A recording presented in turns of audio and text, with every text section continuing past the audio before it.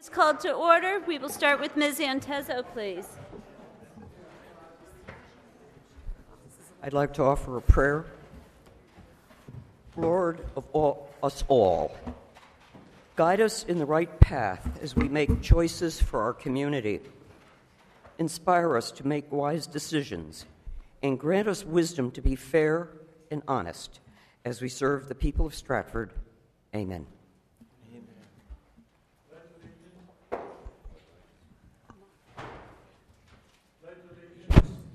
Flag of the United States of America and to the republic for which it stands one nation, under God, indivisible, with liberty and justice for all. Okay, thank you very much. Uh, the first item on the agenda is the approval of minutes. Is there a motion to approve the minutes, please? Motion to approve. Okay, is there a second to the motion, Ms. Manis? Second. Okay. All in favor? Um, dis- discussion? All in favor? Aye. Aye. All opposed? No. No, not opposed, or yes, you are Nay. opposed? Nay. Nay. Okay. Is there, okay. Pa- The motion passes nine to one. Okay. Uh, the Next item on the agenda is ceremonial presentations and awards. Uh, I think it's respectful to do one of these. If we're doing one, to only do one each, each meeting. Uh, And, um, Mr. Gresco? Thank you, Madam Chair. I'd like to uh, uh, say thank you first off to uh, um, the administration and uh, uh, the mayor for their help in this. Um, As you all know, Terry was a uh, mentor and a friend of mine, also uh, an environmental visionary on behalf of our town, but he wasn't all about, uh, or totally about Long Island Sound. Uh, this community garden project that he, uh, he began uh, with Robin, and um, uh, over the years, um, it was an exceptional idea. And um, over the even the, over the course of the uh, last summer, um, Terry and I and and Melvin took a walk through the through the community garden, and he was very proud of it. So um, I appreciate the town and everyone's consideration in renaming this. Thank you. Okay. Is there a motion to, I'd like to make a motion, please. yeah. I accept. Wait, no, he has to state the motion first. Take the motion. Go ahead. I'd like to make a motion to rename the farm of Stratford on Connors Lane in honor of uh, the late Terry Backer of the 121st District and rename it to the Terry Backer Community Farm of Stratford. Okay, I'll second that. okay. Discussion? All in favor? Aye. All against? No. Okay, the motion passes 10 to 0. Madam Chair, may I say something? Uh, Next item on the agenda is a council member's response to comments from the public forum. Okay, we will, s- yes, Ms. Antezo. Uh, yes, uh, I'd just like to agree with Walter Ribkunis. I wish they would fix the sound system, especially that horrible cracking noise. Are there any other responses to the, I do.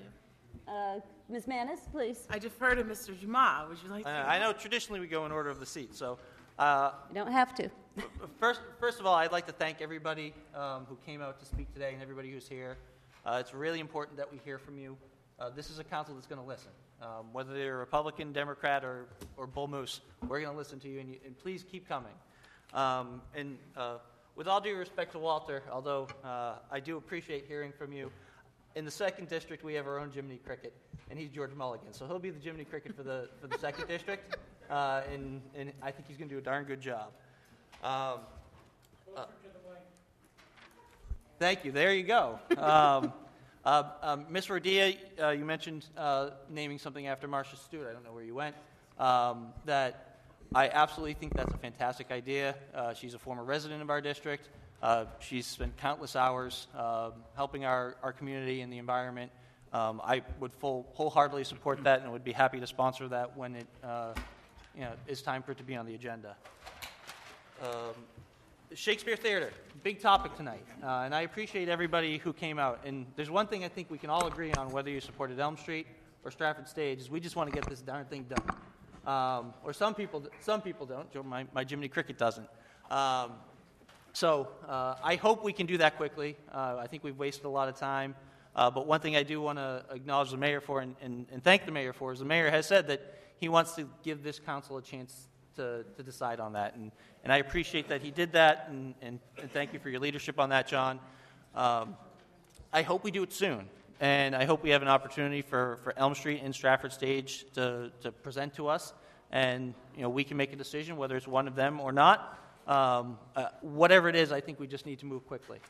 Uh, in terms of some of the, the specifics people are mentioning, uh, I know the deed restrictions, um, there actually are deed restrictions on the property. Um, I can, uh, it's not on my screen, but there are deed restrictions on the property going back to, to, to May 1954 uh, for commercial use of the property. Those deed restrictions are s- still valid. I've, I've gone through the land records myself.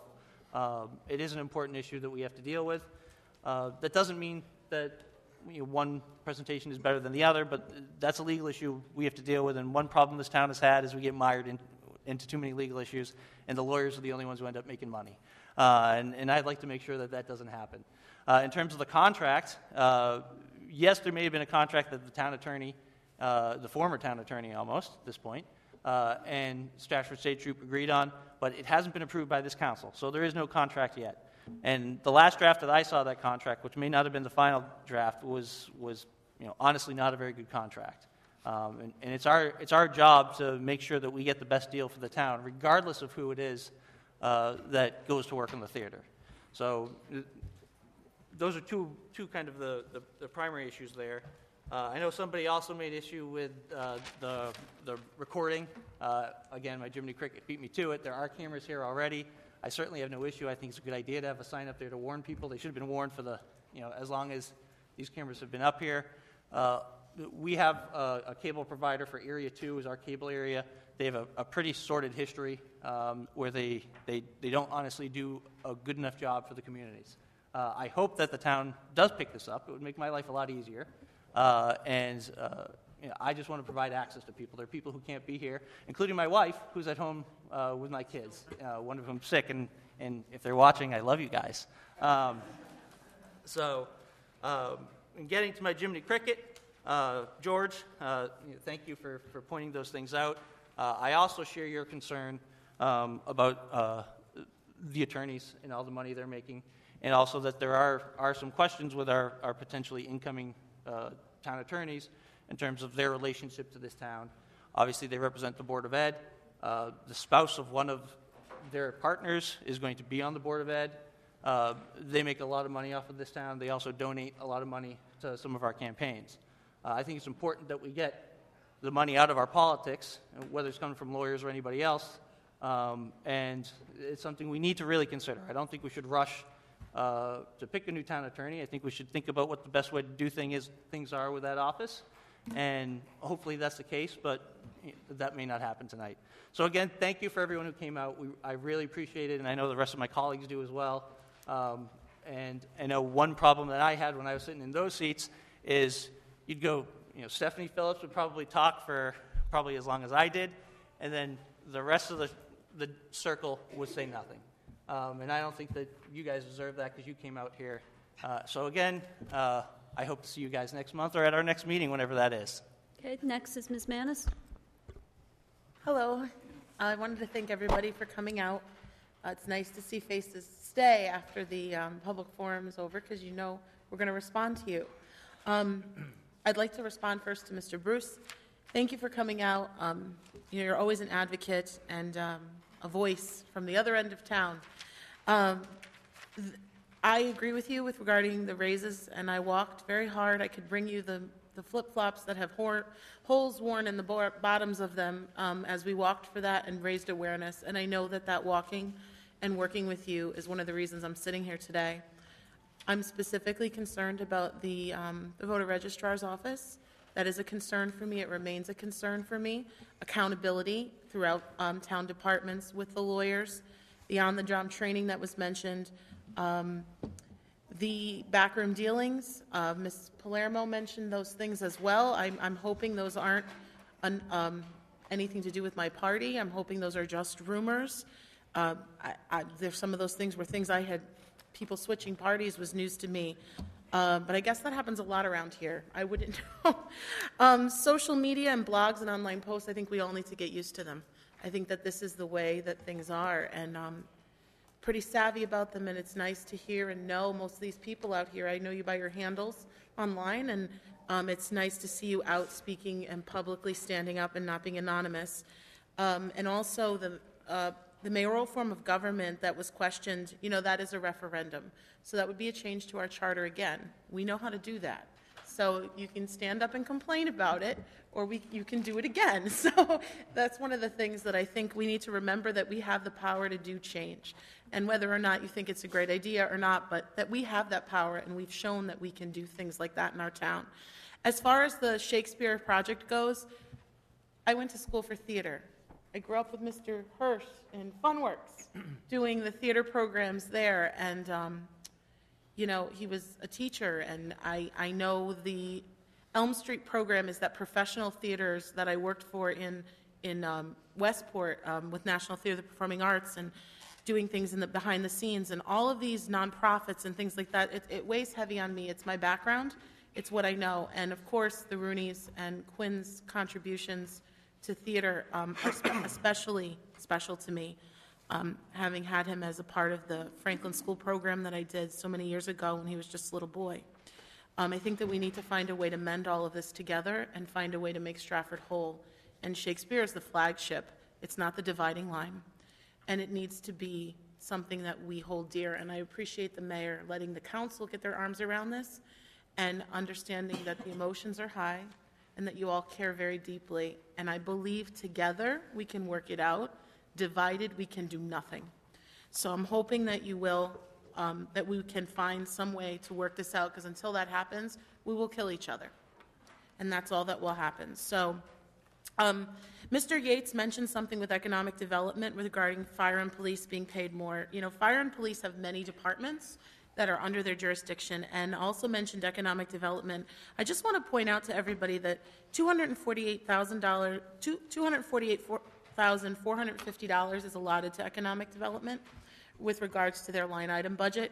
Um, Ms. Kaiser got up and spoke and presented quite a lot of information and gave us many digital materials regarding her department in a professional way. I've received multiple emails from both her and Amy Nor describing different things that they're doing, um, offers to join things in town. Um, I, I'm convinced that they're trying, and I think that, you know, walking through the brownfields is nobody's favorite thing to do. Uh, and I think that it's hard work, but I think that we need to remain in perspective. So, yes, okay, economic development, what's going on with it, what are, what's the commission, what's happening, but also to rem- remember that that department doesn't have very much money as in it at, to begin with either. So when we look at line items, which I did a lot of this weekend, please remember that other departments, it might look like that in one part of the department, but the department itself has multiple has multiple things. So that's something to remember. Um, as far as Mr. Cook's com- conversations with housing, I'm very concerned that the elderly people in our in, in, and under in, um, are feeling underfunded, and they're feeling that there's issues with heat and electricity and um, hoping to be a part of that housing authority and all of that and find out what's going on there uh, and support them. I know my my parents even tried to get into it, and the wait list has been closed for so long. This is something we need to look at as a community. Um, I thank Ms. Erickson for coming out. She's one of my constituents and speaking about SSG as well. Uh, Ms. Rodia for speaking about the Conservation Committee and bringing Martha, Martha Stewart Way to our, to our attention, and also the Board of Ed. The fact that we spend 65, 65 cents on a dollar is important to remember because what does that leave for everything else? And I'm a teacher, I get it. So I think we need to start thinking about we have a great uh, senior citizen population here. They are the majority of things. That brings me to EMS. I'm hoping those rumors are not true. I can tell you verbatim, it hurts me to hear that you ask why is why are people coming forward and keep asking about EMS? Why does the council keep asking? Well, I want to know and I can say this to EMS people will keep looking at you when you're doing good because they can't stop looking at you because you're so good at it. So remember that. When they're, when they're talking about you, they're leaving some other poor soul alone. and it's because you're doing the right thing and you're doing something well. So I think that EMS has proven themselves over and over again. Many of my friends are a part of the EMS crowd and have been volunteers, and I think it's a great program in our town. Um, Mr. Patrimas with the budget, and Ms. Elias, Mr. Mulligan, all the people who came out today, and if I missed you, I hope I talked about what you said. Um, I want you to know that this, the council's listening, I'm listening, I'm taking notes, and I'm hoping that you will remember you are the power behind all change. I'm one vote, and you can talk to me all you want, but if you don't come up and speak, there's, there's no shot. And if you don't eat my candy, I'm mad about it. So, Okay, thank you very much. every Is there anybody else who wanted to respond to comments? Uh, Mr. Hardin, then Mr. Kadeem. Good evening, uh, Fourth District Councilman. I'd like to address the EMS. Um, I'd like to put the rumor to lay. Um, I am one of the uh, council members who inquired about EMS. For those who do not know my history, I joined EMS in 1994 uh, from a Stratford High School. I was a student. I um, went through the Explorers Post. I became a supervisor, went through the ranks, won over 50 awards. The reason why I inquired around about EMS is because number one, I know EMS, I know the budget, I know the expenditures. Just as I inquired about other departments, and it saddens me that EMS has, you know, felt the need to come here and express their concerns, and it's okay because other departments have done the same. Um, I will never dismantle EMS. EMS is one of the reasons that I was kept out of trouble and was able to establish a career in the medical field. Reality is that things have to change in this town, and inquiries are made in order to make change. And I know that everyone will have their feathers ruffled because we are inquiring about certain things that acquire and where expenditures are. I'm a man of my word. I was chosen by the people of my district, and apparently I must do something right. So I'm asking again that if I, I apologize to EMS if they feel that way, but um, again, I've acquired other departments' heads and to see where their expenditures were. Uh, EMS, I applaud them for all that they do. I applaud the police department for all that they do. I applaud the fire department for all that they do. The Board of Ed for all they do, and the list goes on. But reality is that we are in a crisis and we have to inquire about what expenditures are coming in and going out, regardless of whether you save lives or put fires out or s- sweep the sidewalks. So again, before we make judgments and throw stones and, you know, attest to rumors, I'm a factual person. I don't move based on rumors. I move based on facts. This town has moved based on rumors and not actual facts. I believe in feasibility studies. I believe in things written down. And I don't believe in too many hands in the cookie jar. I appreciate everyone coming out tonight to support us. It feels good to have a crowd like this that we could hear you and you could hear us. It's a new change in the town council. And yes, we're not going to see eye to eye to everything we go across, but at the end of the day, we could say that we made an attempt to make a change. We've established the budget workshops, and they were put in place so that I could see the expenditures, talk to the, the heads of departments, to see how we can help, not to dismantle departments and make people feel uncomfortable and make people feel that we're coming after them. That was not the purpose. See, people are now being held accountable for what they do, and they don't like it. People now are having to answer to what they're spending, and they don't like it. So I'm asking the community to support us in this push to do what is right. Not what's acceptable from the old council or the old ways, but to do what's right. I live in this town. I'm a part of this town. My grandmother, my grandmother taught for 32 years at Stratford High. Ruby McNeil retired and then died two months later. We have scholarships in her name at Stratford High School. I am a pillar of this community, so I would never do anything that would hurt or dismantle anything or anyone. Thank you. Thank you. Mr. Kadeem? Hello, everyone. I want to say it's really, really good to see everyone. Happy New Year's. Um, It's so important that you do come out to these public forums to speak before the council so that they have a better understanding of what's going on. Um, When you get a budget, get a budget breakdown that looks like this, it's just numbers. But when people speak to you about what's going on in their districts and in the town, it makes it come to life. Um, also, some of the people who came, I just want to say thank all of you for coming up and speaking because it takes a lot of courage to do that. Gentleman was speaking about the heat and, and, and the um, hot water and those different things that, that he's dealing with in housing. That, that should never be that way. That should never be a, a death sentence if you go live in public housing or any housing area that the town is responsible for. It should always be kept up and ran. A lot of people spoke on the Stratford um, sound, the, the Stratford stage group, as well as the um, Elm Street group. And when you speak about the Shakespeare Theater, the passion for that is, is it goes many years. I've been here 18 years now, and everyone, everyone has been speaking about, it, even myself, because I care about that. My son is an actor. He does great. Mr. Hirsch even cast him in one of his plays, two of those plays, and he, he was one of the leads. He, he did really great. But I have to say this, though. When you come to this level of being on the council chair, the responsibility is not just within yourself, but it's for all of you, for all of us to have accountability to all of you. And I just want to say, I look for your support. Um, EMS, I wouldn't touch EMS, police, any service. So wherever that conversation started, it didn't start with Mr. Wally Kadeem. I want to be plain about that because they say council. If it's one person, then it's one person. Don't say the whole council. Ain't nobody else been talking about that. I haven't been. Um, and I don't have a history with EMS. So just to be clear on that, um, the Shakespeare Theater has to be open. I would love to see it open. There's so many different things on the table, and it's funny to me that the council had it in their hand, whatever many years they had it. It should have already been approved, whatever it is, whether it's this or that group. It just doesn't matter. As long as the theater's open, I'm good. I'm ready to go sit down and watch everything. But the important thing is to recognize the importance of moving forward. Um, this council didn't have a chance to look at any of that paperwork.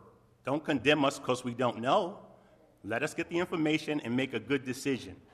But it's based upon also those people who live in, in, in that particular district. We as council people should knock on the doors and ask, do you want a hotel? Do you want um, more? You got, we should ask that because I, I wouldn't make that decision without saying, what do you want in your own backyard? I live 196 Larkin Court. They wanted to put the, the animal shelter there. I didn't want that there. I came out and spoke and fought against it. So I'm not going to say I'm going to put a hotel in your area or your environment without checking in with you. It may be good to hear different perspectives on it, but the fact of the matter is I don't live there. So I'm not going to choose left or right. And there's so much going on with the budget, I'm not going to take up the time and speak about it because we got to get to business. Um, but this is a sad day that we have to come to this level of having to fix the budget when we have a mayor and so many people at the staff that this could have been done a long time ago. And all the times we've been striving and asking for help, there has been no help. So this is all of us coming together, going through these papers. We haven't had any help. Madam Chair did a great job in arranging all the budget heads coming out, made it real public so everybody can hear what's going on in those different, um, different budget groups. It's so important to know what's going on with the money because it always blows my mind how money can just appear. I don't know, I don't get that. Same thing with the Bunnell Field, the gentleman was speaking about. Where did money come from? I thought it was in a deficit. All these raises. How do we get all these raises? I thought we had no money. I thought it was broke. So I don't know how you can turn water into wine this way, but hopefully we'll fix that problem and get, get down to business and perhaps get the town back on track. So uh, for your support, I'm so thankful to be here, and I'm thankful for everyone who came down. God bless all of you. Thank you. Are there any other council persons? Yes, Mr. Chase? Yeah, thank you, Madam Chairman. I'll, I will make it uh, brief, just a couple of comments. Um, Regarding the EMS, uh, I don't think any of our council uh, persons here uh, had made any decisions concerning cuts to uh, any department or agency. Uh, And certainly with the, as pointed out by Bunny, uh, EMS has provided a great deal of funds to our general fund for the benefit of the entire town. Uh, regarding Shakespeare, you know, I go back to 1996. I don't know if anybody remembers the musical, The Movie Man, the um, Music Man. Man. And I think uh, the star in The Music Man was a fellow by the name of uh, Robert Preston, and he played the part of Harold Hill. And Harold Hill came to this small town out west, and he was going to create this um, uh, entertainment for the town. And he was a flim flam man. And I only bring that up because in 1986, another man came to Stratford, and his name was Louis Burke.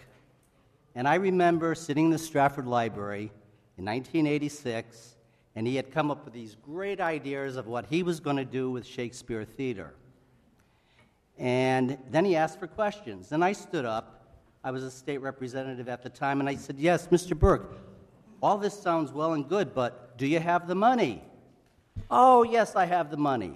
Well, we heard he had the money for a good 10 years.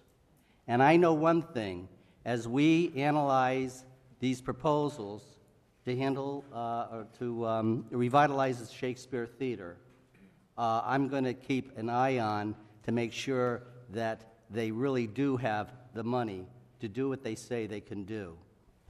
Um, regarding the uh, I'm sorry. Oh, yeah, regarding uh, the various um, comments that were made concerning uh, the town budget, cuts, the deficit, et cetera.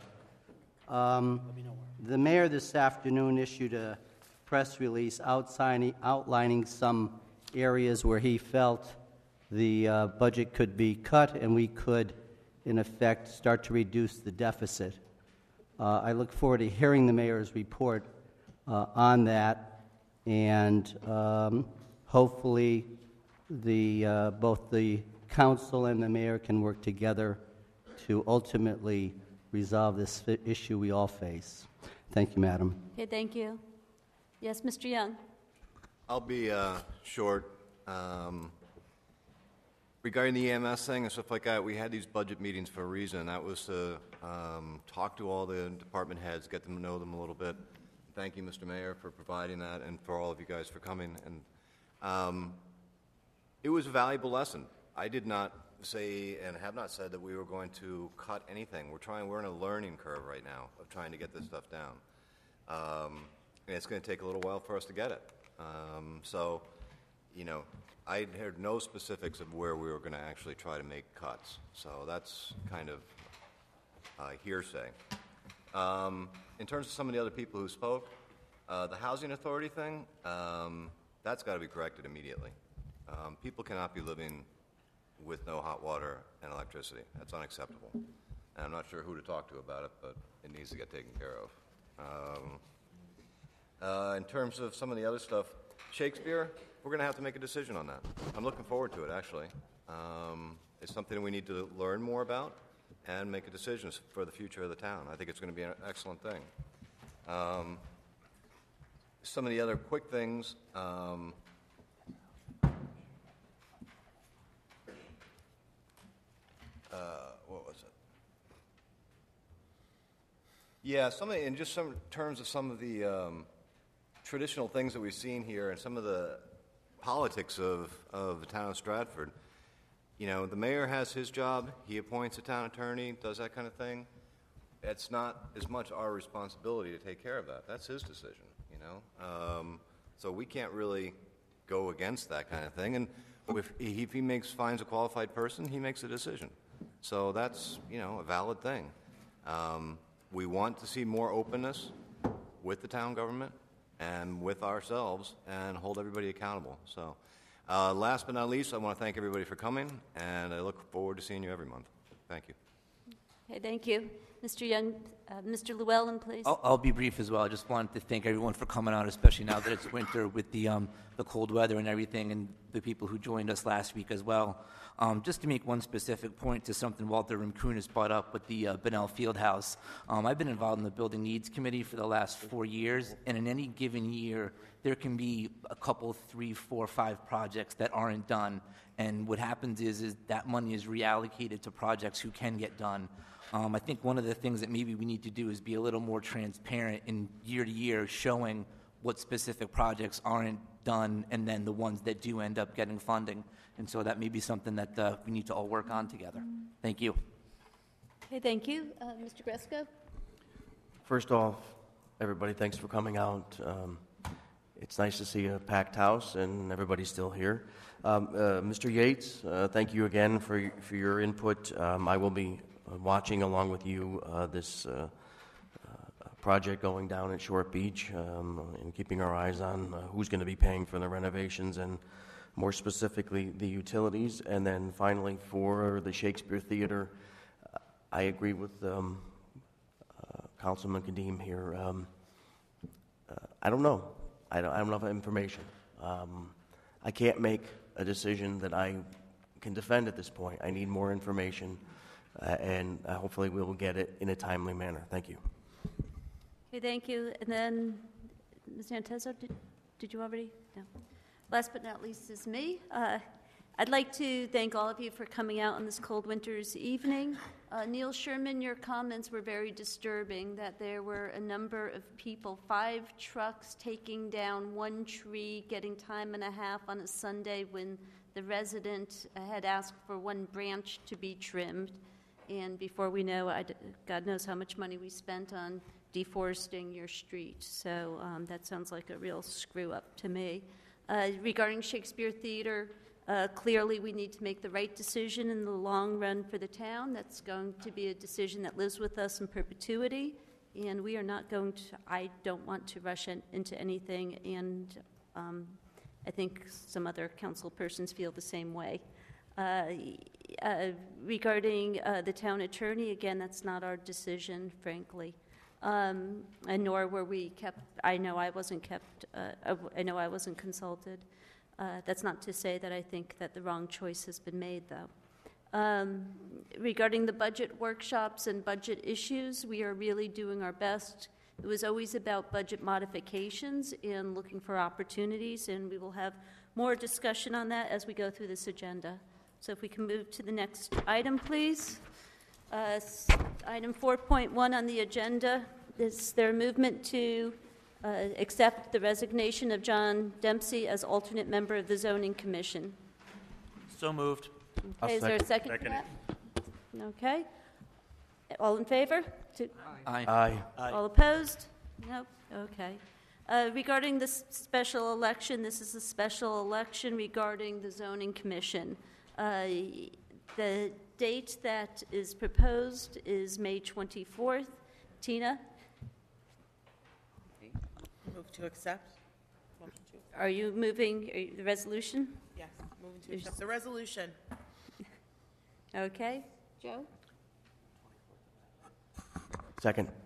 Okay. So the resolution in front of me is resolving that the- the certification of the town clerk for a special election to fill the vacancy, to fill the seat on the zoning commission on May 24th, 2016, uh, is, would be here- hereby accepted. All in favor of that Wait, resolution? Miss, uh, Madam Chairman, if I could just ask a question? Okay. Um, The um, the statute um, sets forth a a time limitation of 150 days, and built into that is a enough time to allow the parties to nominate in any primary. So I just want to make sure that before you set that date, you've consulted with Mr. Marcone or Mr. DeCilio to make sure that those timeframes are accurate? Those timeframes are accurate. We did consult with Mr. Marcone, and Mr. Marcone consulted with Mr. DeCilio? Yes, May 24th? Okay. Okay. Yes, Mr. Chase? Just for the town attorney's um, edification, I also spoke to Mr. DeCilio, and he was comfortable. Okay. Thank you. Okay, all in favor of the resolution? Aye. All opposed? Okay, let's move on to the mayor's report. Thank you, Madam Chair. Uh, Some announcements. Town Hall will be closed next Monday in honor of Martin Luther King Day. Uh, I'd like to congratulate Stratford EMS uh, for establishing a new honor guard. They had quite the ceremony on Saturday. It ended up being a two-hour event, and I got to tell you, uh, it was um, a real class act. Um, the whole procedure of uh, installing a new honor guard, honoring those who have served EMS, who have uh, passed away, and having family there and honoring them was a real tribute to our volunteers and uh, also the staff at EMS. So hats off to them to keep up the good job. I was also uh, notified that the EMS had, had done 500 more calls than they've ever done last year, so the call volume is up. They're really kicking it, and uh, we did get a new ambulance across the street. So if anyone wants to go see it, um, please go over and visit them, ask them questions, and From the outside. you can, you can go inside and knock on the door and ask to go in if you like. From the outside of the ambulance. Okay, from- the outside of the ambulance, you don't want to be in it, but you could actually look through the windows, but they'll, they'll open it for you. But they're doing a great job over there, and I'd like to pay tribute to them. Also, uh, we did hire a new CIO, Chris Timniak, will be starting next, next week. Uh, Chris is here this evening. Chris, why don't you stand up and say hello to everybody? Chris brings a, a wealth of uh, knowledge and information to the town of Stratford.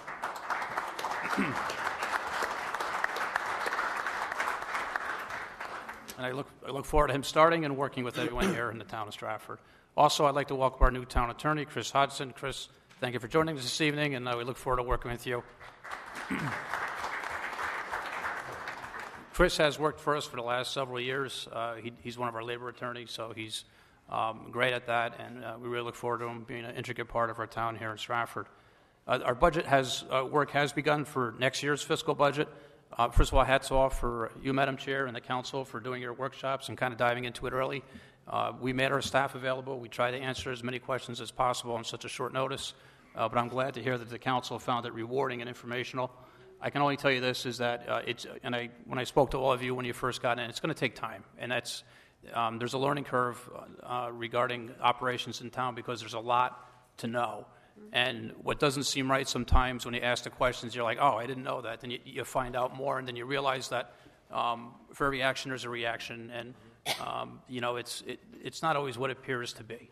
And that's why I always say make sure you ask the questions uh, just to find out the other side. And um, even with Public Works, I heard that they removed the tree on Sunday, and um, there was overtime incurred, but there was probably a reason for it. And, um, you know, talk to Public Works or give us a call and find out, and you'd be like, I didn't know that. And, um, but there's, there's normally a reason for things. And I'm just thankful that uh, most of you uh, participated, asked some questions. We're going to have more workshops um, with the new budget, so you'll be a lot more experienced now going into it.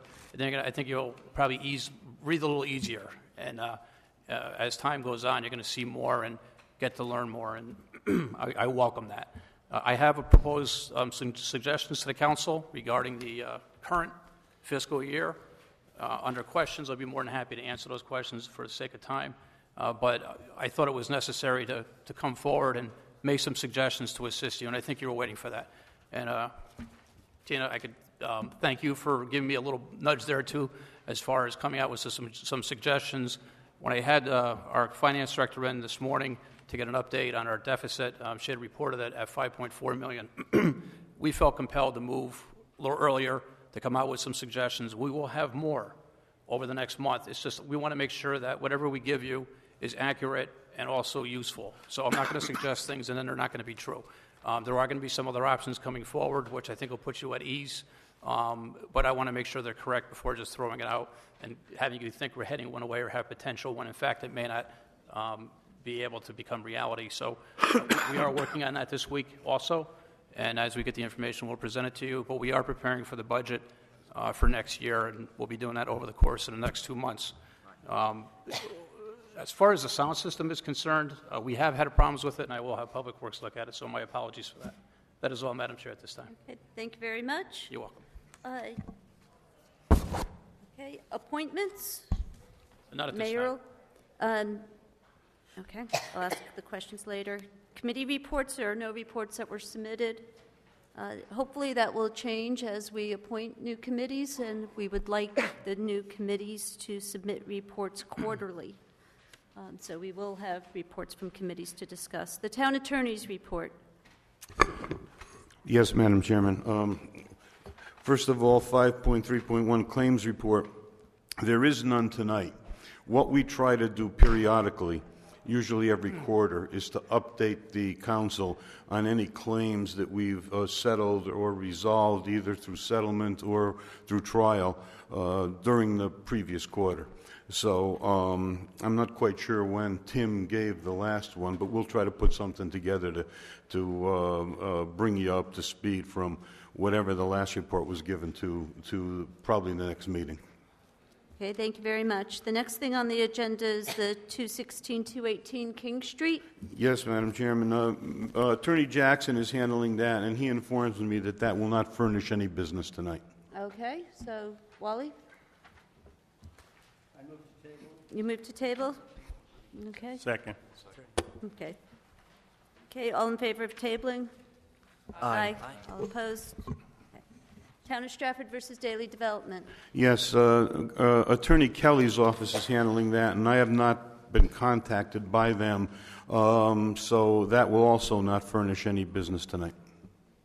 Okay, Wally Kadeem, um, table, move to table it. okay, okay. All in favor? Aye. Okay. I I have a question.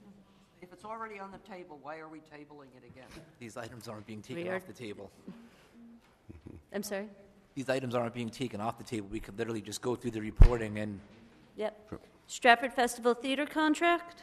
Yes, uh, Attorney Jackson is present, and I'd like him to come up and give you a little bit of an overview as just to what's happening on that situation. I don't think that any action will be required of you tonight, except uh, for informational purposes. In that case, You said you wanted to bring attorney Jackson up now? Yes. although it- we don't expect any movement on this tonight. No, this is just for informational purposes. So, already on, on the table, I, I won't move to table it yet. Let's hear what Attorney Jackson has to say. Yeah. Okay? Okay, fine.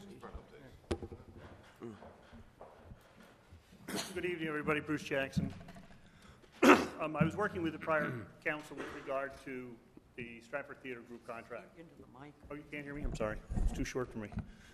Um, the, the, when I was working with the prior chair, we had had uh, discussions with Stratford Theater Group's attorney. Um, the proposal was for them to come in, renovate the theater as well as the White House. Um, the way the contract was reading at that point in time was they would come in, they would show uh, evidence of their ability to pay, they would show, get all the approvals. Once all of that would happen, then they could begin with the construction of the theater. Um, They did propose as part of that a hotel, but anything, if the hotel was done, would have been done after the, after the completion of the theater would be done. They could not even begin construction of the hotel. The, you're correct that you never saw a copy of the contract, because uh, the prior chairman never thought it got to that point, and there were still some open issues at the time that they left. So there are still some open issues, which is why we're not producing a contract. And I guess you all have to look and, look it forward as to what the, the provisions of any contract you would want to enter into would be, and give us instructions as to how that contract should read. Thank you very much. Any questions? Attorney Jackson, what are the open issues? What's that? What are the open issues? Well, as I said, well, initially, with the first issue is that you're a different council, so you have to tell me what the provisions of the contract would read. So, for instance, as you said, something about the hotel, if, if you feel strongly there shouldn't be a hotel, then that would be something we would add in. Uh, Other issues out there were somewhat minor. For instance, one of the questions was, is it a lease or a license? A minor distinction, but we were going back and forth with the, the other attorney as to those terms. Um, So again, we never quite got to a point to present to the council a final contract because there were still some issues open. Okay. Ms. Manis? I have a question really quick. Two. One is, um, are we guaranteed that there will be no litigation from the covenants and all that? I've read that, but I've read conflicting reports, and from, both from credible people and sources. That's my first question. The second question is, if for some reason this, we are not, we do not vote to go with SSG, are we l- setting ourselves up for that kind of litigation as well? Can you answer those questions? I, Mr. Florek, I think you'd probably be better at that part than me. The Question is whether if they don't go with SSG, whether it'd be litigation. Well, I, I, I, I don't know. Um, um, that's something that uh, we can analyze, but I wouldn't talk about that here. If you're going to talk about that, that's probably a subject for executive session. Thank you. And about Any other questions? What was the covenant, you've looked into that?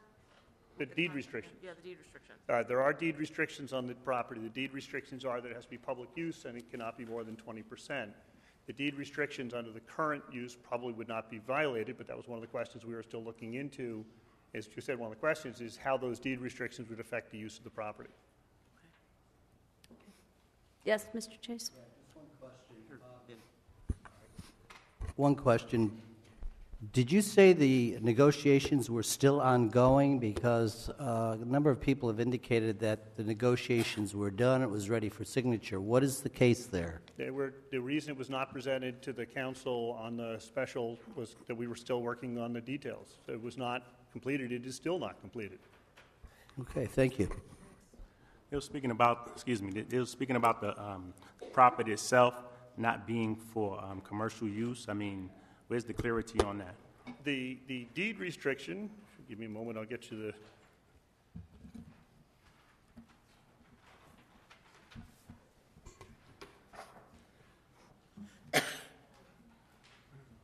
The deed restrictions are that the reservation in perpetuity, that not less than 20% of the property remain as open space, and that they allowed access to the general public. And those are the two deed restrictions in the deed that I've seen. But the question is, for instance, if we have, if we give the use of the theater to a private group, does that somehow restrict the public access? And we haven't gotten an answer to that yet. Another part of it is, when you were stating that it was a park, someone said it's a park, but you just said these restrictions just requires that it's twenty percent. Open space is all it Open says. space.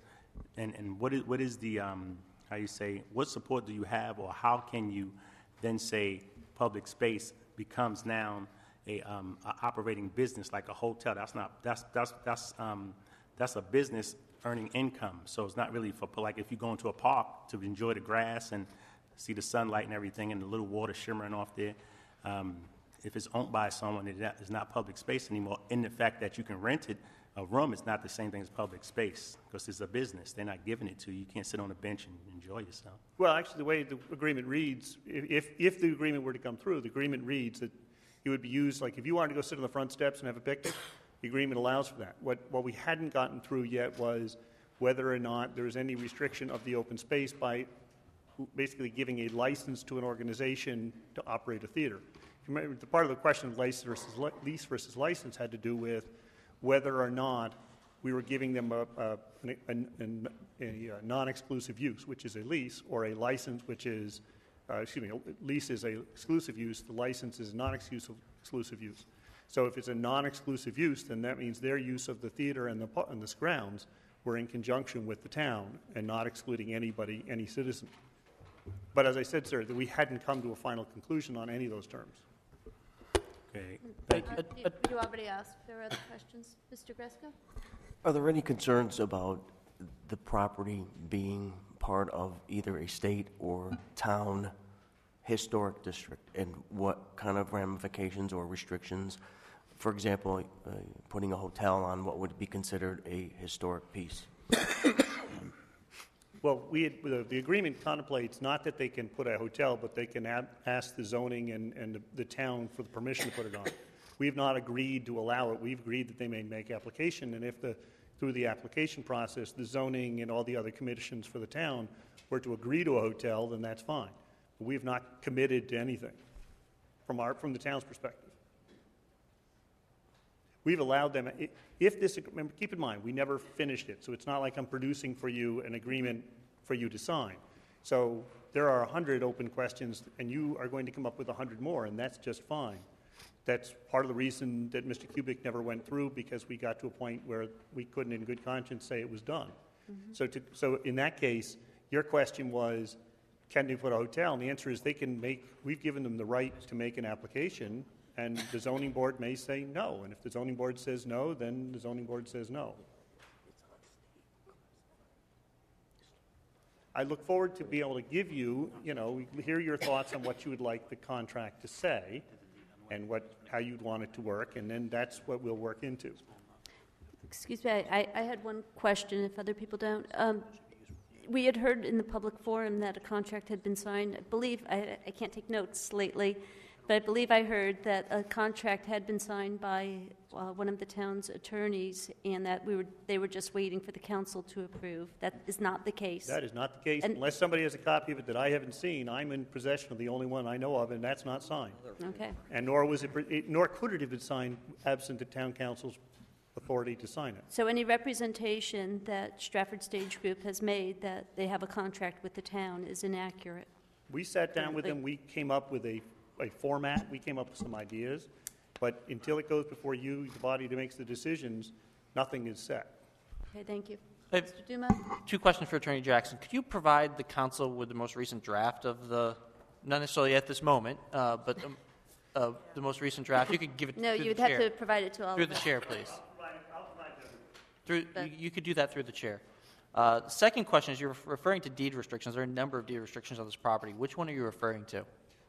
Um, I don't have the deed in front of me, but there is a particular deed that talks about, has two specific, was the one from the state, if I recall. The one from the state to the town had two specific deed restrictions. Are are you familiar with the 1954 deed restrictions from Housatonic Properties? Uh, I've seen them that it wasn't really clear in there. You have to go get a survey. That's one of the questions we had was where those survey lines run. Because the survey lines, it talks about a legal description, but without the ability to attach it to a map, I'm not entirely sure where the restrictions run. Okay, thank you. Bruce? Yes. I was actually involved with the transfer of that property and conveyance bill to the state of Connecticut. The way the deed was structured was open space was a priority, that 20% of the site should be reserved for open space, current with our zoning right now. Uh, Also, that the town should make its best effort to keep it for theatrical purposes, realizing that in worst-case situation, if no one ever wanted to take this over, the town shouldn't have to be stuck with a theater that nobody wanted, and they did have some options. So ultimately, it's going to come down to this body to decide what the path is or the future of the theater. And when you asked about the lease agreement, well, I was given the charge to negotiate with the, the person that was selected by the council, but that's, that was where we were left off at this point. So it's going to be up to this council to really decide uh, which, which venue you want and how you want it structured. So you're going to have a lot of input on that. And we appreciate that, Mayor. Thank you. Sure. Uh, Mr. Thank you, Chase? I move to table. A second. Okay, all in favor of tabling? Aye. Okay, all opposed? Nope. Okay, 16 Goodwin Place. That will also furnish no business tonight, Madam Chairman. Okay, thank you. Um, Table. Motion to table. Table. Motion to table. Okay. There are three different seconds, that's fine. Uh, All in favor, tabling? Okay, short, I- I'm sorry, 576 East Broadway? Yes, Attorney Jackson is also handling that uh, proposed sale. Um, I understand that may have some time sensitivity to it, but doesn't have to be acted on uh, tonight. But I'd like Mr. Jackson to give you a little bit of an overview of what that's all about. I, I just want to say, uh, just to clarify, that especially for things that are time-sensitive, in the future, this council needs uh, documents on projects. So contracts need to be provided by the deadline, uh, and please be aware that the deadline for the, uh, for the agenda has been moved up. Um, So any documents relating to something that we, we need to have a chance to review. So in the future, um, we aren't going to all just do this verbally, we need to have documents, please. Okay, Mr. Ja- uh, Attorney Jackson? So this is a property that the town foreclosed. It's a brownfield property. It's, uh, EPA has agreed to do a remediation on the property. As part of that, we put out an RFP, and we had one particular buyer come in and say they would be a buyer of the property. We have entered negotiations, but partly because the issue was that we had to negotiate with both the buyer and with EPA. So there's a contingency that once this body decides whether or not to sell the property, they've got to make an agreement with EPA. Now, EPA will come in and do the remediation, which they value at around $4 million. Uh, We, the town, will then, uh, the, the the potential buyer will have, as part of the remediation, will have to come in and put in special subsurface uh, constru- uh, structures in order to hold a building, because apparently ground is very wet or very soft. So part of the issue, the issue is, is the buyer's got to work with the EPA and put money into the property prior to it being completely uh, remediated. Uh, They have entered into, or they're in the middle of getting an agreement with EPA. The contract would, once it's ready for signature, would involve the, the town basically agreeing to make a sale to these people, subject to the EPA agreeing to do the remediation. One of the holdups was we were waiting for EPA, who has a lien on the property for their remediation, to make an agreement with the town as to the release of the lien. Uh, Just the other day, we got a letter from EPA. We had asked that we get reimbursed for the full value of our taxes and our ti- and and all of our costs, which is approximately $400,000.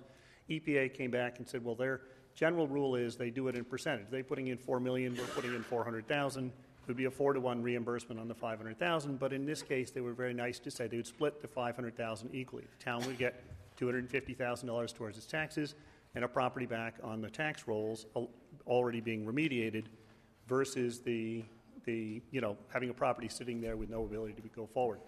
Uh, For information, if the project were built as, re- as the potential buyer would like to build it, the tax revenue should be approximately $100,000 a year. Okay. Mr. Chase? Is this currently wetlands? No, I don't believe it's wetlands. I think it's, I think it's, it's, it's Raymark waste, uh, but apparently they, they said the subsurface soils are very soft, so they can't, once they go through and do it, somebody's gonna have to put a frame underneath there to be able to hold the weight of a building, or it's just always gonna be empty. Um, So I know where the spot is, and that, that building's been empty for quite a long time because of the, that, that area is pretty bad. The question is, is that um, with all of the Superfund stuff coming through, that hopefully we will start moving on, does this business understand this coming in? Do they understand that this isn't just a local problem in their, in their little corner of the sky, that this could impact all other areas of town and impact their business or their traffic flow or, you know, I think it's a uh, moving, a storage facility, so large trucks coming in and out, you know, to move things. Do they understand they're going to be buying into us? Do they know what they're buying into in the area? Because of their nego, I, I don't, I can't speak for them per se, but I do know that they've been in negotiations with EPA for a very long time. So I have to think that they at least are somewhat aware of EPA's plans all over that area. But I can't, I can't speak to what the buyer really believes. Ms. I have- Santozo? I have a question. Um, Did you say 4 million EPA is anticipating that their, their remediation costs will be about $4 million for that property? for that property. Do you happen to know if that also includes their approach to the Raymark waste in general? Is it part of it? Is that 4 million part of it? Believe that is part of it, but I, I can't speak for EPA directly, but I believe it is part of that bigger project. Because the presentation we saw, that property was not mentioned at all. Raymark waste. It is. I'm talking. It is part of that. Anybody else remember it? I, It is, and it was like the airport property. They, they remediated that site when they, when they moved Main Street. So there are sections that if they can remediate uh, immediately, uh, they, they will. It's, it, they just haven't had an opportunity to do a lot of these.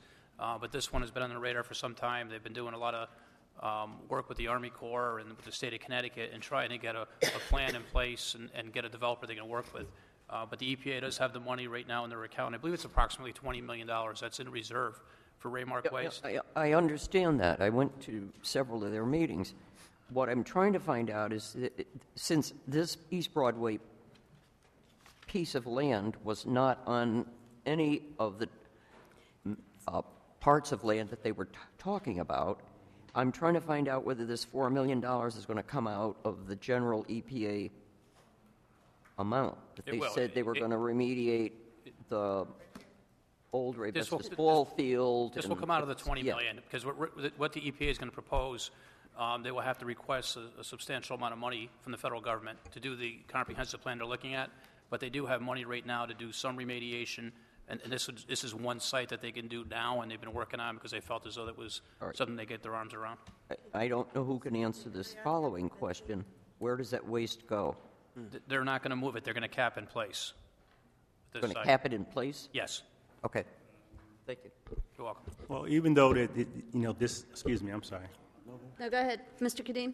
Yeah, even though there's a lot of information that a lot of us really don't have, I move that we table this and have a better understanding of what, what we're actually voting on. Well, that's what was our understanding. Second. We're just here for information. Second. The second. Okay, all in favor of tabling? Aye. Aye. All opposed? And Attorney Jackson, do you think you could work with Gail and Carol to pony copy that contract out to the council members? Absolutely, we'll go out tomorrow. And please understand that this council is new.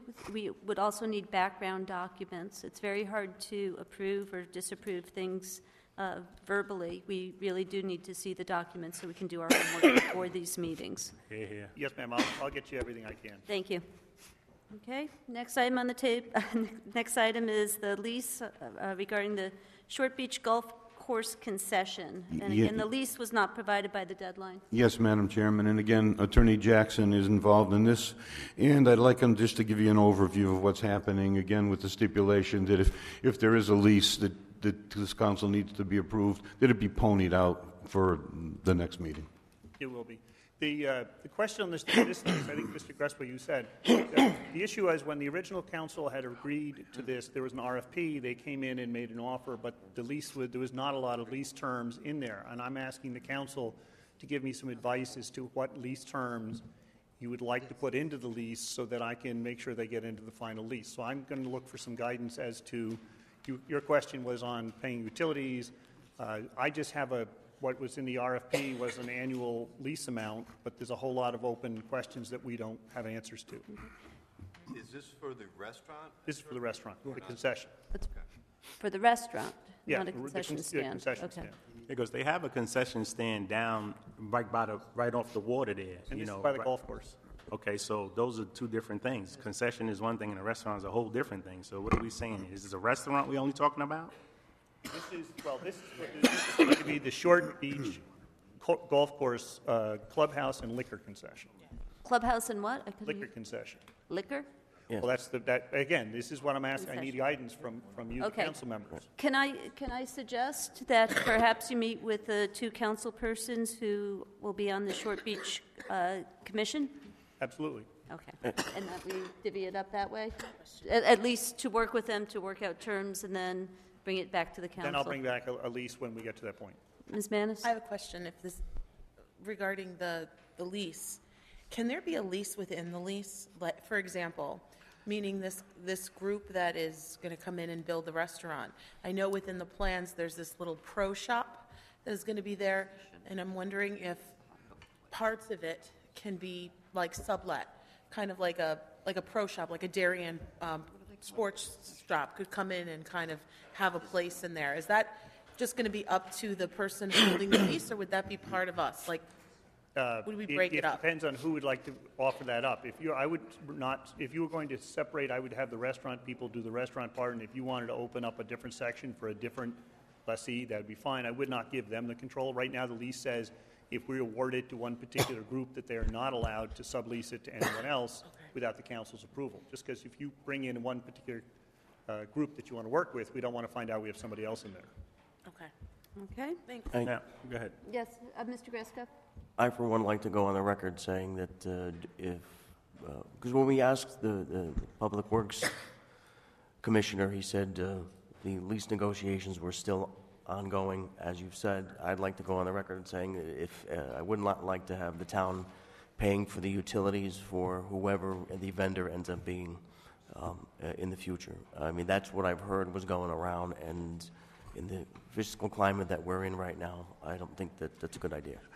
We, and we were just coming to you to ask what terms you want, because I, you guys tell me what the terms are. That's one of them. I, I agree with that. I agree with that. Also, like, um, because, because of the fact that it's a restaurant with a liquor license, that's supposed to, um, be something that's normal when you go out and play golf? Should we have drunk people playing golf and fighting on our grass? I mean, what is that? Is that normal? I don't know. That's pretty normal. Yes. I don't, I don't like it. I don't like it. Come on up to Lyman Orchards, it's awesome. Okay. Is there a motion to table this? Motion to table. while- Second. Okay. All in favor of Thanks, Bruce. Tabling? Aye. Thank you. Uh, Okay, now we go into executive session to deal with Conway versus Town of Stratford. Yes, uh, Madam Chairman, I would request a- an executive session. Uh, That's a pending claim against the town, and uh, so we need to discuss that. The um, the uh, participants should be the members of the council, of course, the mayor, Mayor's Chief of Staff, Town Attorney, myself, Attorney Cotter, who's actually representing the town on this claim, uh, Ron Ing from Human Resources, and Sue Collier uh, from Finance, uh, because it's going to affect both of their uh, departments, and they, uh, I believe, will have uh, something to say about it. Okay, thank you very much. So Ma- I'll Madam move to Chairman, go point of into executive session. Point of information. Uh, Attorney Florek, what uh, testimony will the Chief of Staff be providing? Because he's a, a part of the mayor's office and because he works with the town attorney's office uh, and the mayor uh, in regards to these matters, uh, it's been my experience that very often in discussions that take place in executive session, he has something to add, and uh, I would want to take advantage of that. Okay, move to go to his executive session. So moved? Second. Second, all in favor? Aye. Let's go. No. Mitzi Are we set to start?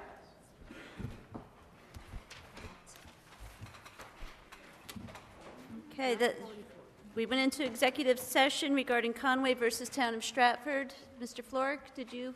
Yes, uh, Madam Chairman, I think what would be in order, if it's uh, the pleasure of this council, is a motion to accept the recommendation of the town attorney and then a vote. I rise to a point of information.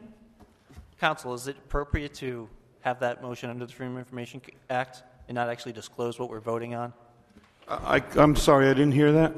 Is it appropriate to have that as what we're voting on, which isn't actually disclosing what we're voting on under the Freedom of Information Act? Yes, I do believe it is, Mr. Dumas. Okay, thank you for that clarification.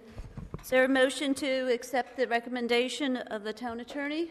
First, in the- Wally Kadeem, I rise to, to the, um, accept the motion for the town attorney. Okay. Okay, second by Phil Young. All in favor? Aye. All Aye. opposed? Nay. Okay, thank, okay, next session, uh, next, next issue is uh, questions to the town attorney. Would anybody like to start? We'll s- ask, we'll start with that end of the table, and move around this way. So I asked a question, Jackson, you said we go into special session. With those negotiations for that contract for Shakespeare, if we wanted to add things, would we do that in a, uh, an executive session with you? Or would we more, would it be more appropriate to do that in front of the public? Would it be more appropriate to kind of just vote on motions? What would you suggest? Well, I'm not sure. I mean, you'd have to look at the specific circumstances involved. I'm not sure that you have the grounds to go into executive session unless there has been some type of written communication from the uh, town attorney to the council, and, and um, it would disclose it and impede the attorney-client relationship. But I, I think you really need a specific factual situation to deal with to answer that question. So you said like, if I was talking about lit- litigation? What, I think what I would do is, I think I would start it off out here, and then if it looked like it was getting into areas which were uh, non-disclosable, then request uh, uh, to go into executive session. Okay. Okay, Mr. Llewellyn, did you have any questions? None at this time. Okay, Chase? Antezo? Not at this time. Ms. Antezo, do you have any questions for the town attorney?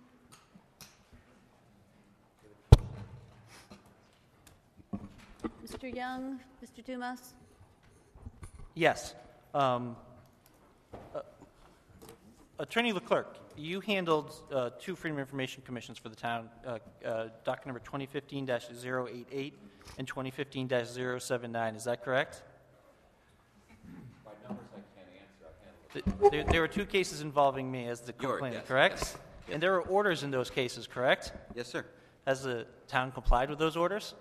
If you're talking about the tra- FOI uh, training you're referring to? Th- That is one of the two orders? Yes, I've had discussions with Mr. Hennick at the commission, and we will be scheduling, now that you've all begun your term, a training session When did you have those discussions? In the last 30 days. When in the last 30 days? I don't have my I talked to Mr. Hennick two days ago. I In December, we spoke on this exact topic.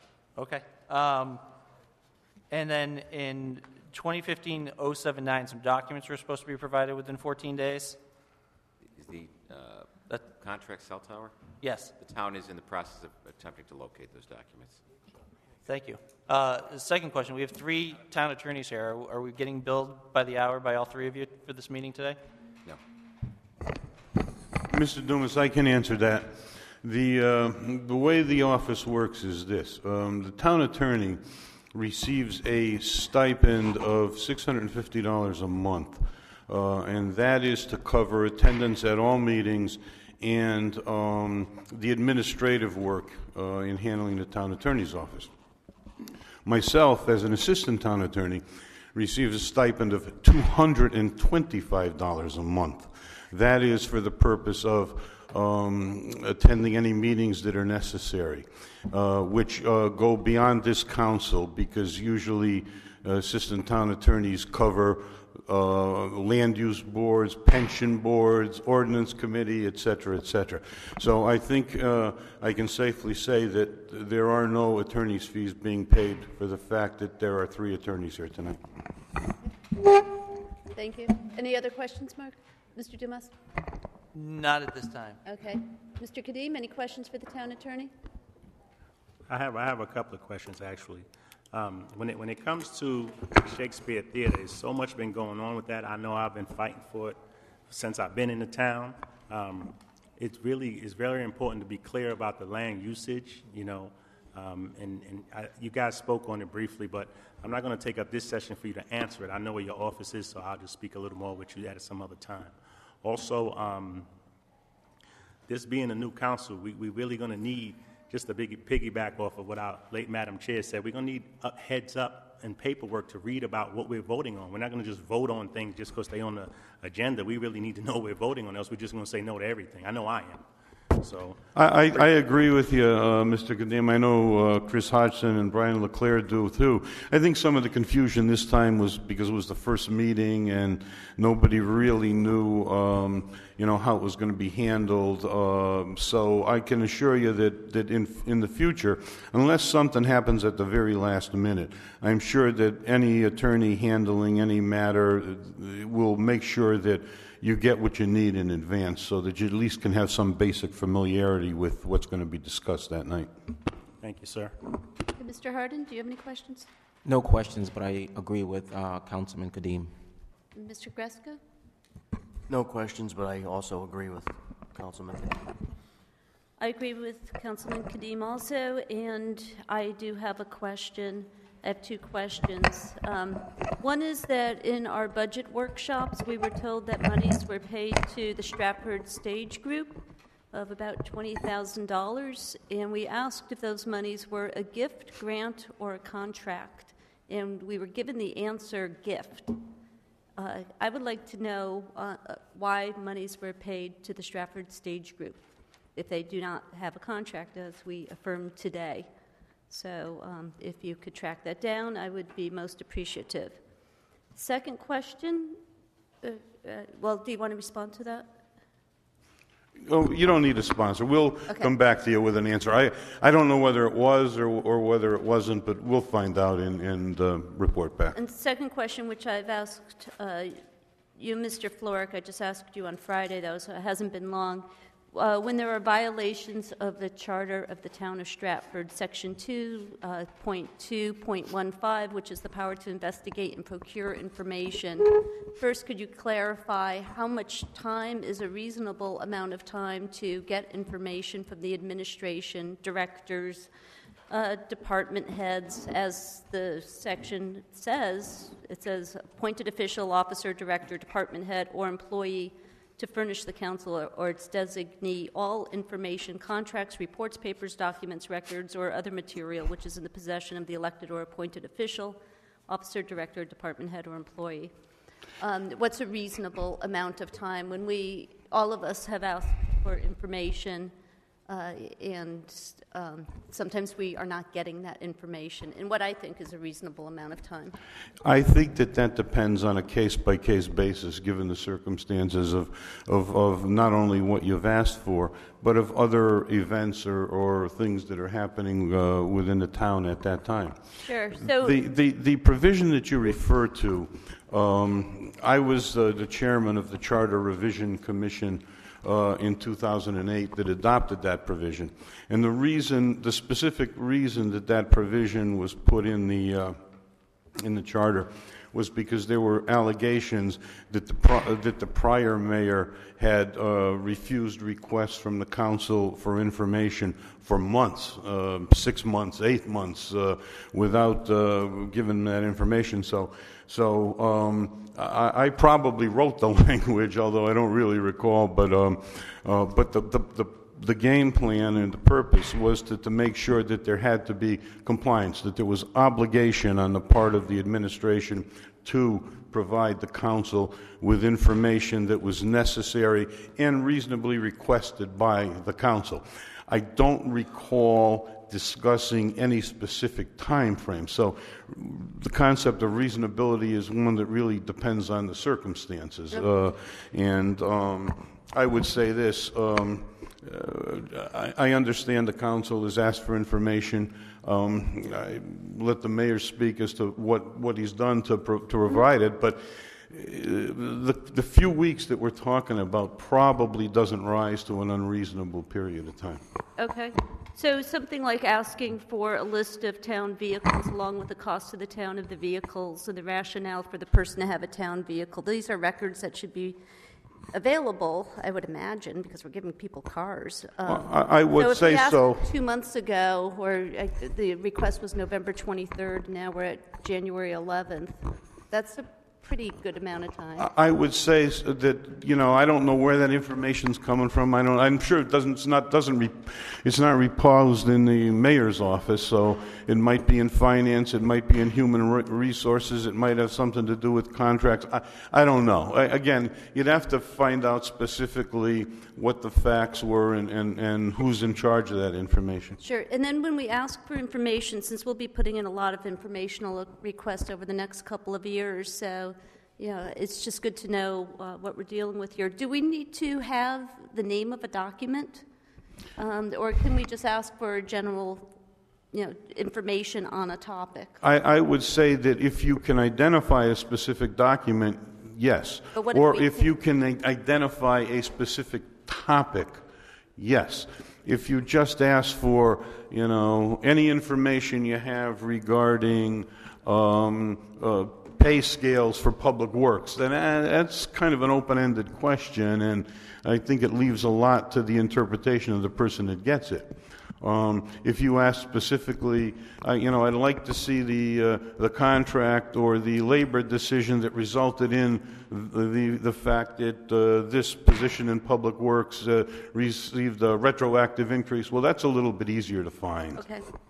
Okay, Does that, Mr. Yeah, I mean, I, I hear what you're saying, but um, the, the request that our council, Madam Council Chair asked were real clear. Cars, that's easy.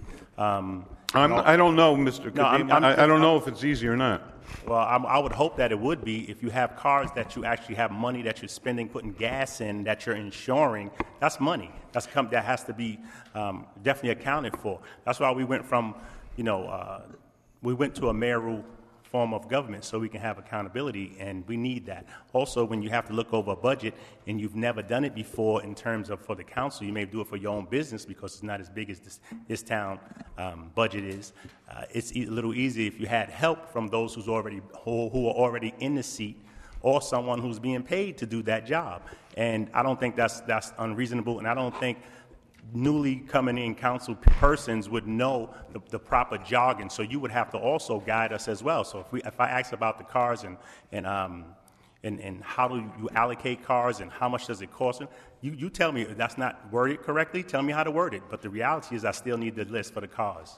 I, I, I understand what you're saying, but just to put it into perspective, again, I don't know that I don't know who, who you've asked, and I don't know whether that information is uh, deposited in the, um, the the mayor's office, or is it in finance, or is it in in uh, human resources, or is it in in any department where a supervisor is allowed to take home a car?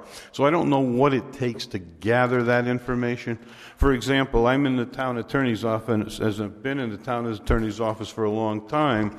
Um, yet, if you ask me about the Shakespeare matter, well, I really don't know anything about it. I haven't handled it. That's why I had to call Mr. Jackson up because he's the one that's been handling it. So, in any given request, uh, it might seem like a simple uh, request, but it might not be. And so that's what I'm saying you, you have to deal with the circumstances of each request to determine whether there's been. Um, whether there's a problem. I will say that I've always felt that things like a, a violation of the charter are um, almost akin to, say, a contempt of court, where you have to show a willful disregard of, of, of the request and not, you know, any uh, non-compliance for any other reason. Okay, thank you. Uh, Ms. Manis?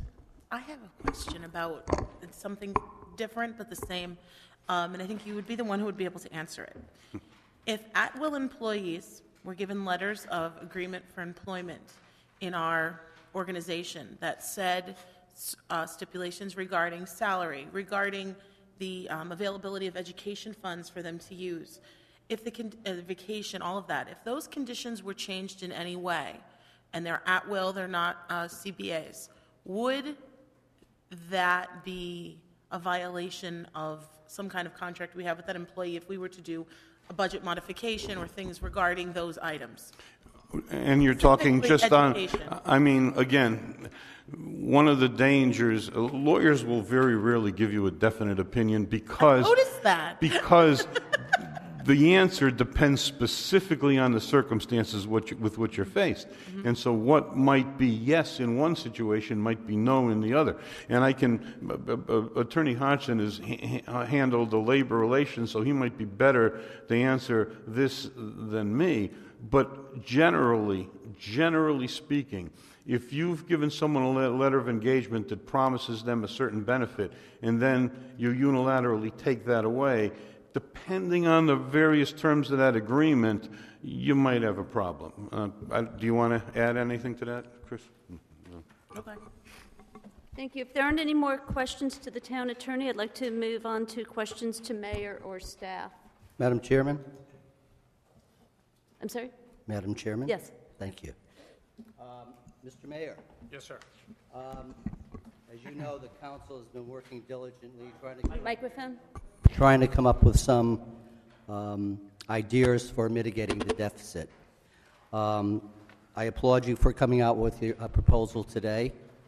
It's, uh, for my part, it's appreciated. Um, there's a number of questions that some of us have, and I'm going to attempt to ask the first one. You probably are going to want to have Sue Collier come up.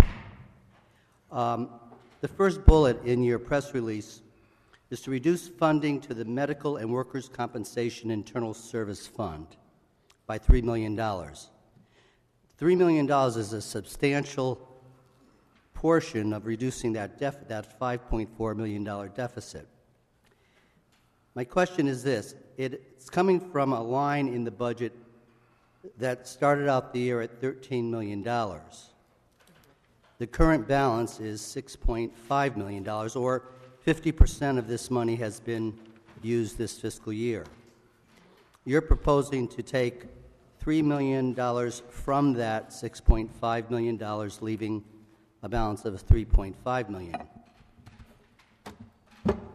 Last year, that account, the town spent approximately $7 million, I believe is the figure.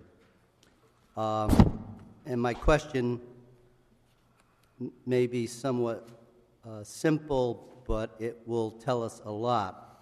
And that is if we take $3 million from this fund, will it leave this fund in a deficit come the end of the fiscal year? Thank you for your question. Um, let me just say this. I hear a lot of negative comments about the way things are being run in the town of Stratford. Things have never been better in the town of Stratford. So let me, let me start right there. Our parks have never looked better. Our services have never been delivered better. Crime has been down three years in a row. EMS is killing it or kicking it. Our fire department is an ISO rating rate two, which has never happened in the history of this town. Our pension is funded. Uh, the town roads are being paved. Children are being uh, funded on the educational level. And with the help of our finance director, we've been able to shore up accounts in our budget.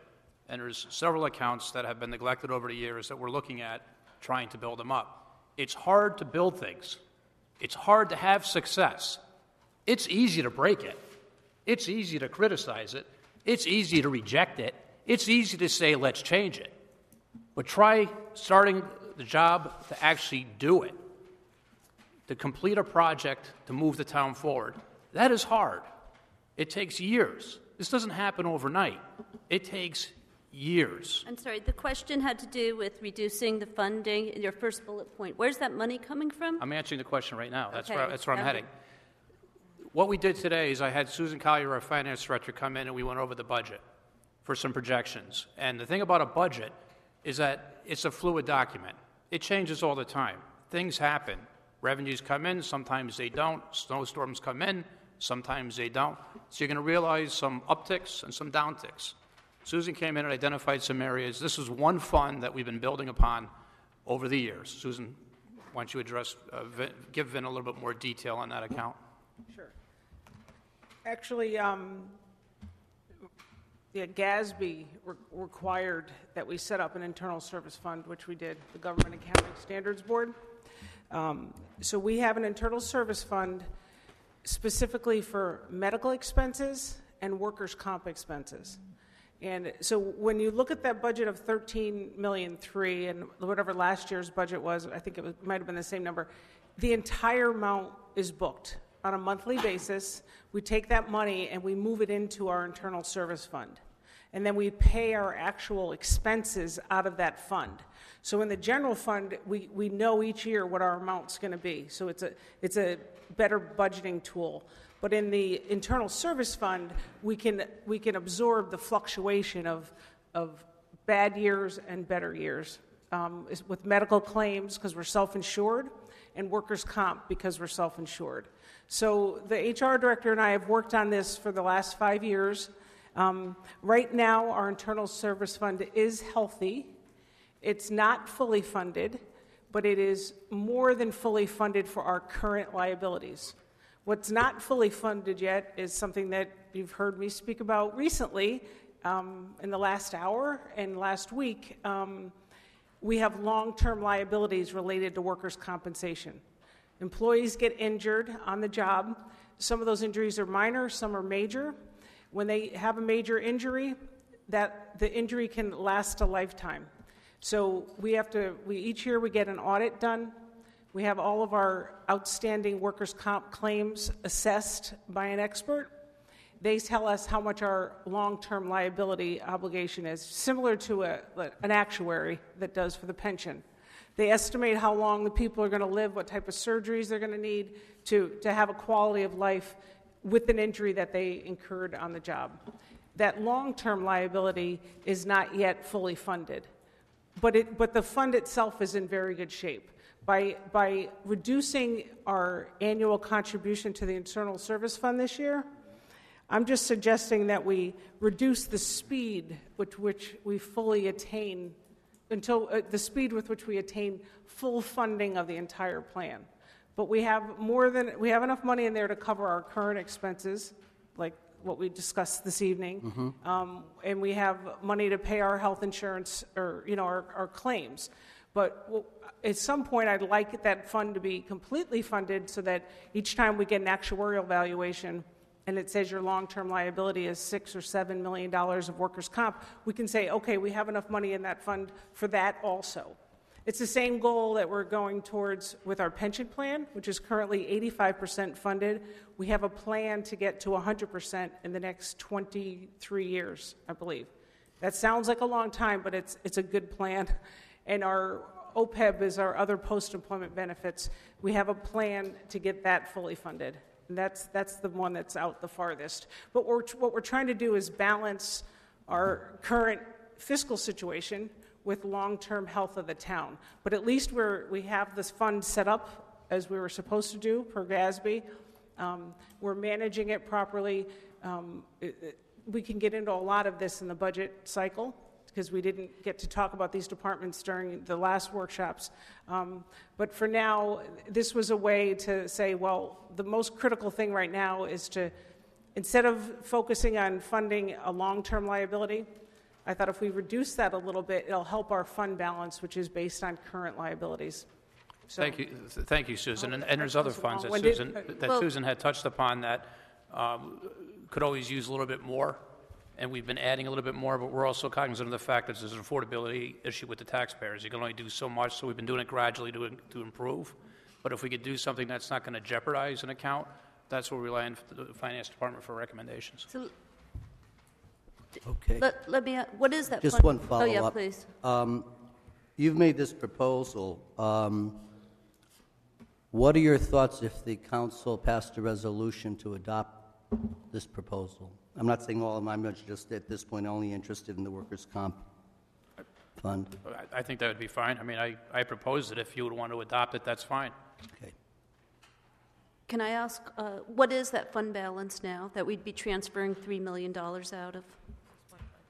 Uh, How much is in it? Based on, on page 93 of the fiscal 15 audit, which I'm sure you guys carry around with you and have it. study on your free I've time. got it here. Um,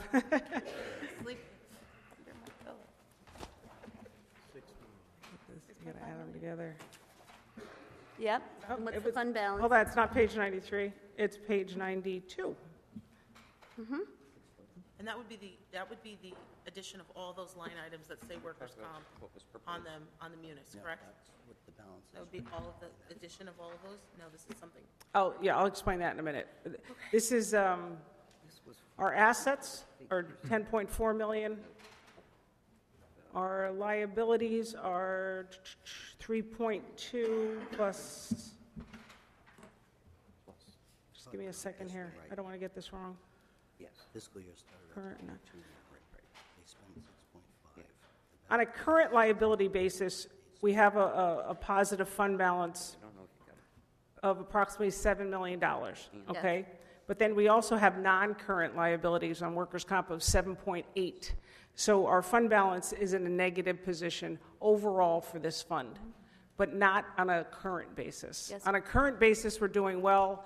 On a long-term basis, we're not quite there yet. So that's why I was suggesting each year it's improved. That's why I'm suggesting this year, instead of taking as big a chunk out of the long-term liability as we had originally planned during the budget, I'm just saying to slow that down a little bit. Can I, can I ask, um, last year, what were the total assets in this fund? I, I didn't catch that. Last year, what were, not Ju- uh, June 30th, 2014, what were the total assets in this fund? June 20, June 30th, 2015, it was 10.4 million. I don't have that in front of me, I, so I can get that to you guys. Unless it's, yeah, I can get that to the council. It's in last year's audit papers. I just didn't bring it with me tonight. I mean, was I it similar amount of money for the year before? I can't hear you. Was it a similar amount of money from the year before as the year before? year before.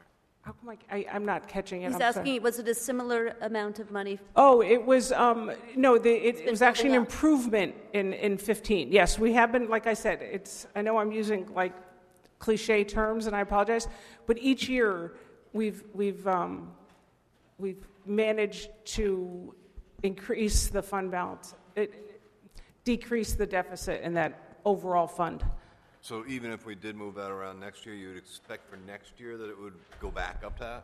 to Well, I, I'm going to, you know, I'm going to show you guys a lot of numbers, but next year is again, I want to definitely do make some type of um, improvement, but you guys have, we're going to have to balance a whole lot of things in the budget.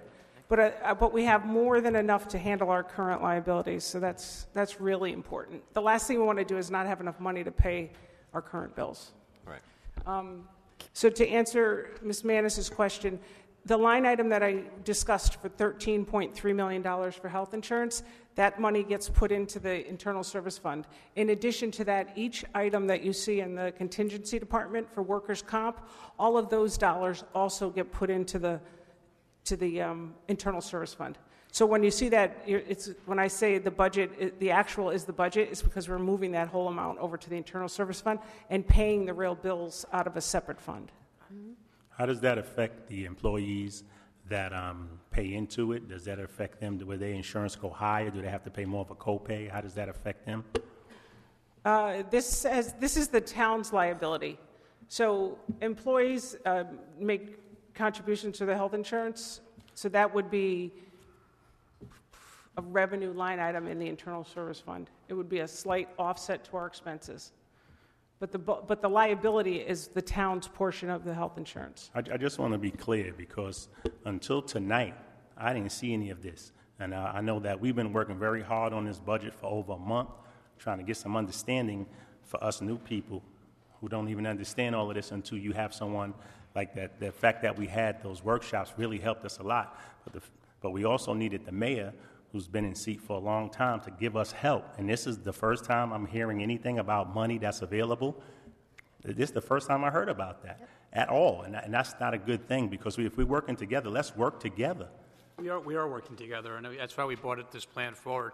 But What- tonight is a little late because we're supposed to make decisions on this now. No, no, we done no, went no, through I- this I- for the only weeks. thing I- you- No, I, I didn't ask that, nor did I ask to be, have it put on the agenda. I put it out as a plan. It's not on to- the agenda. for you to These are ask questions to the mayor. Right, to ask uh, questions and. Well, this is questions make to a the mayor moment, right? I'm, I'm not, I'm sorry to cut you off, Your Honor. I'm just No. saying, I really want to be clear because I don't want to cut something that's going to hurt people. Right. People live off of their jobs, they work and take care of their families. I'm not going to make a quick decision just because a new piece of paper is in our face. We really need to come together, the mayor's office as well as the town council, to really get this right because we made decisions already, which you'll Uh, see going forward. So we really need to make decisions together. And this was Okay, too Ms. fast. Ms. Santezza? Well, I have another question for the mayor. It has to do with the unbudgeted monies from the WPCA to the amount of $580,000. And I'd like to know actually what that was from. Susan? I just I have an amendment to that question because we were told in the budget workshops that we could not move money from WPCA to the operating budget. No, that's not what the suggestion is, though. Okay. Okay, so what this is, is within the general fund budget, okay? Mm-hmm. There, the, the budget had $200,000 of pil- pilot from WPCA, okay? So that number goes down. So that's a, that's a deduction in revenues. Then we have another deduction, a gain on sale of, of property, that was $600,000. So those two items um, of 800,000, those are things that we're not going to realize revenues from. But the offset of those two items are the land use rent of $600,000, because we didn't include that in the budget. You did. And also, we did not because we, we, the budget presumed that the sale was going to go through. So if the sale's going to go through, we're not going to get our rent because we don't own it. And um, the overhead charge, the annual overhead charge of 300,000. So that's 600 and 300. So that was $900,000. In addition, we have, I believe, four public works employees who used to work for WPCA, and then the EPA or DP, I don't know, one of those organizations, I apologize, um, they told us we had to move those employees over to the general fund. They spend, I don't know how much, approximately a third of their time cleaning storm sewers. Some are water, some, some are storm, some are sewers. So the work that they're doing, they're in the general fund, but they spend a certain amount of their time cleaning storm sewers. So we charge the WPCA um, for those services of $480,000. So that's another revenue that we're going to realize that was not in the budget. And then one last savings is in our expense side of the budget, we said we're going to have to spend $200,000 on user fees for town buildings. Because right now, the town doesn't pay itself to use the sewers. So that was another $200,000 pickup. So the net impact of all of those items I just spoke of is the $580,000. Okay, thank So you. instead of the defi, you know, instead of it being a $5.1 million hole, the, the, the real hole related to WPCA is the difference between 5.1 and the 580,000. So 4.86, S- But, yeah, so it's a, okay? I have a question. and, and, oh, just one more thing. If, we don't need action tonight, Mr. Keem. This is a suggestion from the mayor's office. If you guys are interested in this, I can present you with a resolution next month. It can be um, published, the, p- the public can comment on it, and you'll see all the line items, the ins and the outs. So And, and, but we are working with the rating agencies now. Um, we're preparing a, a plan. We're, so we, but to, we, we don't need to just pick up the phone and call them. We want to make sure all of our, you know, we have a, a really good plan in place before we, we have that call, which is coming up in a few days or next week. So this is step one. So will we be getting the information in more detail? Sorry, thank you, Council Chairperson. Um, Will, will we be able to get the information that you, you worked on, um, Yeah. so that we can have a better understanding going forward to compare with ours? There's a couple of things going on. I mean, uh, y- y- you know, there's, there's a lot of wheels in motion right now. What we're doing is trying to relieve the pressure. And, uh, you know, the, it- it's, we're not in dire straits right now. I mean, it, it's, it's reason enough that we have to take action. And I, we're- we're doing it at, at a pace that we're confident that the information we give you, you'll be comfortable with and that, um, you know, hopefully we'll have your support on it when we adopt it, bring it forward. There'll be some other suggestions forthcoming too that we're working on. Um, and, and we'll give you the information as you proceed. Mr. Mr. Dumas? Mayor, Oh, I'm sorry, Mr. Kadeem was. I'm still, I'm still looking at a few other things. Um, the, the expected, uh, loss was, um, uh, supposed to be coming back, actual was four point five, and then actual was a deficit of twenty fifteen. Last year was the loss and of two point two million added to the report, and it, and it was brought about from, um, the attorney's fees. We got a hundred, mil, we got one million from there, and also the, um, higher tax, tax assessment, which brought up to point two. Did that come through, or how did that go? I, I have no idea what you're talking about right now. I'm sorry. Uh, No problem. This, this is an idea that's, um, that, that we went over in terms of what was the deficit and how to fix it. Okay. So, um, if there's a situation where you didn't spend money that you'll be putting back, um, I would like to know about the attorney fees also, as well as, um, we were just speaking about the WPCA, the money that they didn't have to pay, or, they expected to be paid, but they had the money there, right, that you're supposed to pay for the month if you had sold it, the six hundred thousand? And you was also speaking a little bit about WPCA contracts, WP services, that was 480, or you said was 580. So I'm trying to understand, is that money going to be recouped to go towards uh, clearing the def- deficit, or how does that move forward? The, the WPCA-related items that we discussed is going to, because we still own the WPCA, and, and the, the biggest piece is because um, our public works employees are still cleaning the storm sewers. That and, and, and another $100,000 is what's going to get re, um, improved upon from the budget.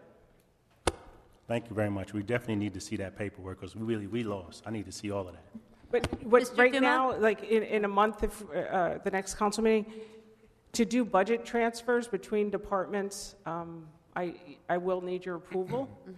But a lot, some of these other suggestions that the mayor is talking about, you know, he'll share with you as he goes on. Not everything needs to get, um, it's, it's not a financial transaction to, to take furlough days or to do other items that he's suggesting. But I'm sure the mayor will keep you guys abreast of whatever the ideas are.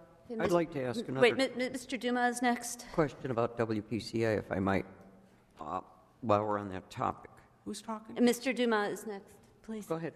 Yep. I'm Mis- sorry. Mr. Mayor, you- your plan indicates that there'd be $580,000 rece- received from the WPCA, that's correct? Yes.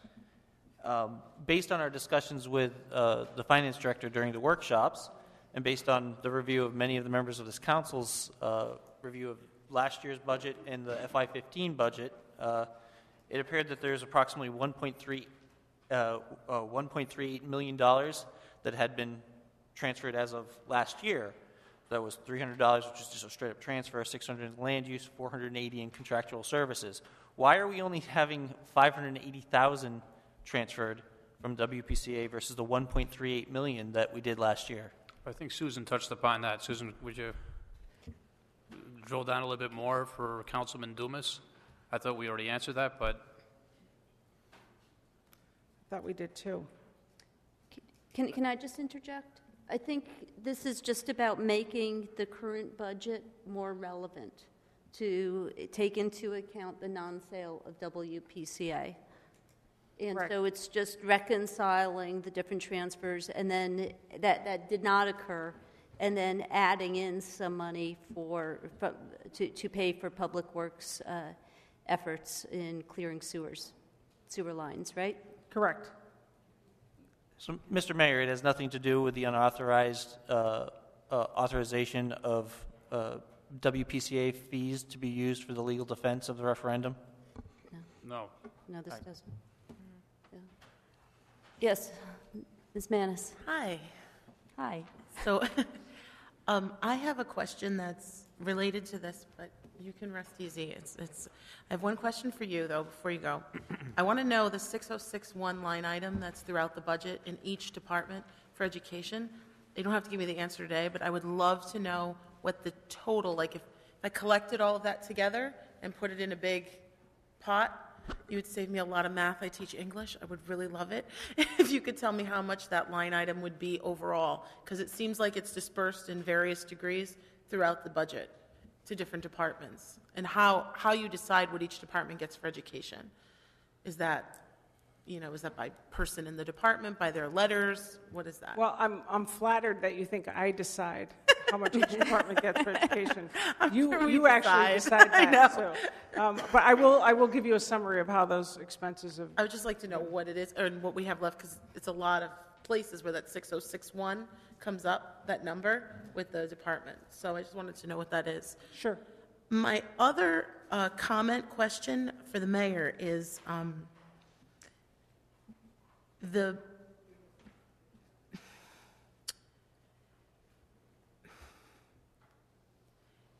the frustration level that you felt and the um, level of emotion is good.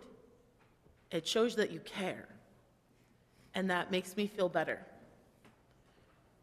But this, when people talk about transparency, it's not that you didn't do a good job on this, because you went to Tulsa and you know you have a BA in finance, you know what you're doing with finance.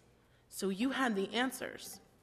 And I think that when they're getting upset, they wanted you on the team. And we wanted you to be there with us. You, you didn't need to sit through all those meetings, I get it.